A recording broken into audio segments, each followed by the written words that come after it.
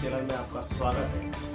यूँ तो शिक्षक पूजनीय और आदरणीय माने जाते हैं जो समाज को नई दिशा और उन्नति की ओर ले जाने का रास्ता दिखाते हैं। लेकिन आज हम बात करेंगे ऐसे शिक्षक की जो विद्यालय के प्रमुख पद पर बैठकर शिक्षक की छवि को खराब कर रहा है। आज हम बात कर रहे हैं जिला सिवनी के पांडे छपारा ग्राम की जहाँ शासकीय उच्चतर माध्यमिक विद्यालय में पदस्थ प्राचार्य शिवराज सिंह कुमरे द्वारा कुछ ऐसा व्यवहार किया जा रहा है जो ग्रामवासियों को गब्बर सिंह की याद दिला जी हाँ यह गब्बर सिंह शिक्षक पूरे नगर में अभद्र व्यवहार और भ्रष्टाचारी के नाम से प्रसिद्ध हो चुका है।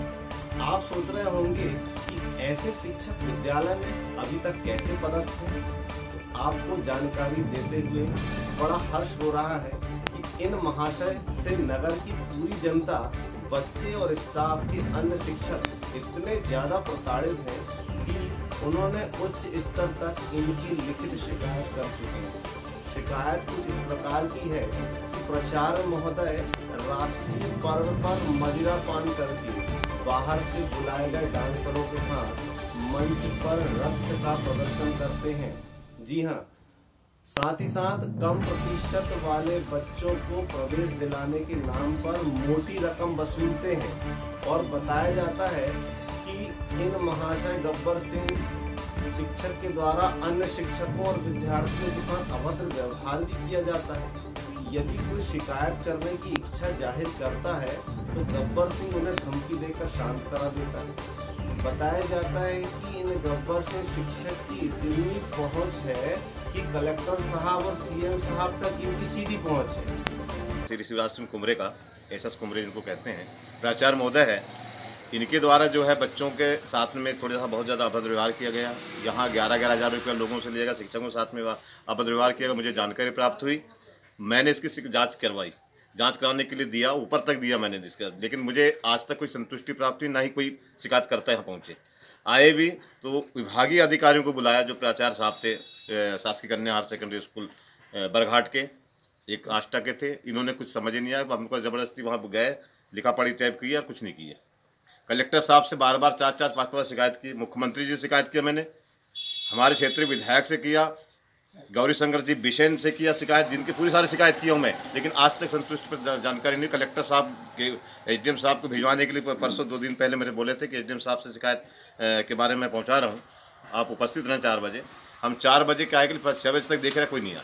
यहाँ पे एस कुमरे उसकी कार्य प्रणाली वो बिल्कुल ठीक नहीं यहाँ की जनप्रतिनिधि, बच्चों, उनके शिक्षा के स्तर को लेके और जो भी सुविधाएँ उसको लेके, उसके मतलब पूरे अनर्गल काम चलते आए दूसरी चीज़ कि वहाँ पे स्टाफ भी परेशान है।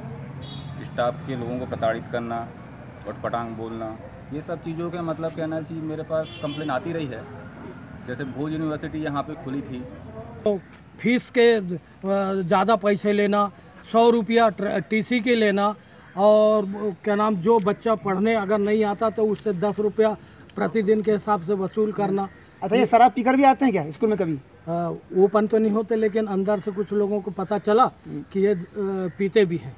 और पी के डांस कर रहे थे लेडीज़ जेंटों के साथ। महिला और जेंट आपने इसकी शिकायत किया कहीं? नहीं सर मुझे ये दबाव डाला गया था कि आपका भी सविलियन होने वाला है और आ, हम आपको सविलियन से रोक देंगे आपको शिक्षा विभाग में शामिल नहीं होने देंगे इसलिए मैंने सर उस समय में एफआईआर नहीं की। किंतु बाद में भी मुझे प्रताड़ित किया गया। मैं यूनिक आईडी पासवर्ड बनवाने गई तो मुझे ढाई घंटा अपने चेम्बर में खड़े रखे। और खड़े रखने के पश्चात सर मुझे बोल दिया गया कि मैं पासवर्ड नहीं बनाता, मुझे कुछ नहीं आता।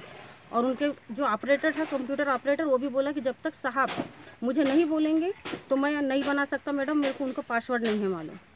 इस टाइप से बोला गया सर। इसकी शिकायत मैं यहाँ डीओ कार्यालय भी गई थी, और डीओ कार्यालय में जब हम गए तो हम पता चला कि वहाँ पहले से मेरे खिलाफ उन्होंने शिकायत दे चुके थे कि मेरे कार्यालय में ये बगैर अनुमति के प्रवेश किए, जबकि मैं बगैर अनुमति की नहीं गई थी, सर। मैं पूछ के गई थी और वहाँ उनके स्टाफ वाले भी थे। आपने क्या रिपोर्ट किया थाने में इनकी? हाँ अब बाद में की हूँ सर मैंने रिपोर्ट उस कौन से थाने में? उगली थाने में। रिपोर्ट कर चुके हैं ना? हाँ सर और कलेक्ट्रेट में भी दे चुकी हूँ और एसपी साहब। को भी दे चुके हैं और मानव हाँ वहाँ भी दे चुके हैं सर। आप लोग। हमारे प्रिंसिपल द्वारा कहा गया है कि आप लोग सिवनी जाकर मेरा स्थान रुकवा सकते हैं। इसलिए हम लोग हम लोग को भी नाम लेके किसी ने बताया होगा संदीप देशमुख कह के वो मेरा नाम लेके चिल्ला, मुझे बुला और सीधा कालर पकड़ के मारना चालू कर दिया। और मारा, माँ बहन की गाली भी देने लगा और मारा तो ऐसा मारा मेरी शर्ट भी फट गई टी शर्ट भी फट गई। सब बच्चे मेरे बेटे की जो भी गलती है मैं माफ़ी चाहता हूँ।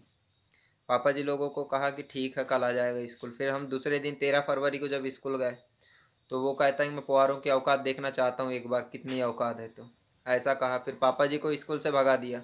उसके बाद थाने में एफआईआर भी हुई। उसकी भी पहले, उसकी एफआईआर हुई, फिर उसके बाद हमारी हुई। उसके बाद फिर वो मेरे पास में आए कि बोले, बघेल जी, आपने ग्यारह हज़ार रुपये दिए क्या? तो मैंने बोला हाँ जी, मैंने तो दिया ग्यारह हज़ार। तो उनके द्वारा फिर शिकायत की गई। जन सुनवाई में कलेक्टर को हर जगह उन्हीं ने शिकायत की है।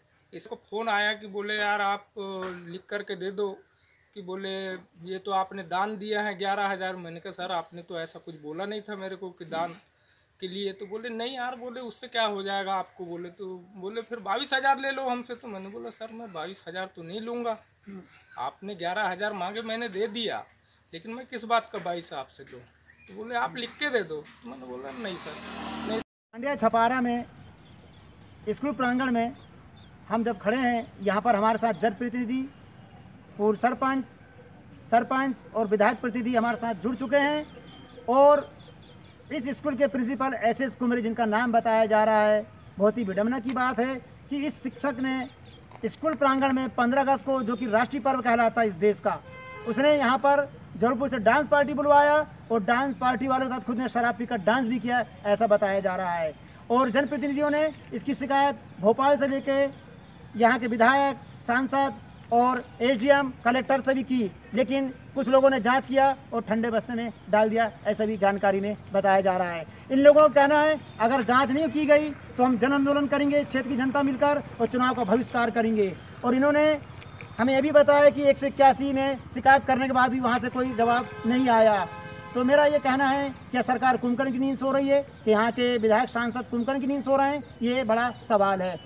कैमरामैन धर्मेंद्र पवार के साथ Sanjay Kade M P twenty four news Barghat धारणा